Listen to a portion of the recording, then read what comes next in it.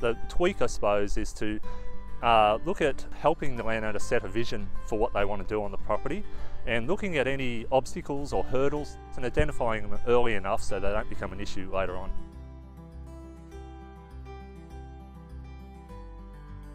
It's about saying, okay, where do you want to head with the property? Are you expanding? Are you looking at retiring?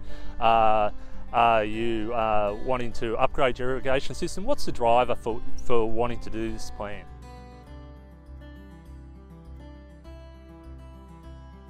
We've been uh, undertaking whole farm planning, I think since about 1987, so it's one of the longest running programs we've had uh, and certainly one of the most successful.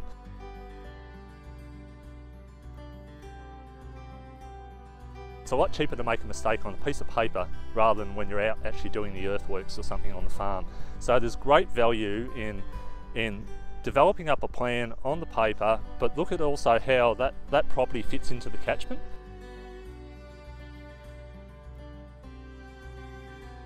That then sets the scene for obviously the future development of the farm and getting it right the first time on that piece of paper.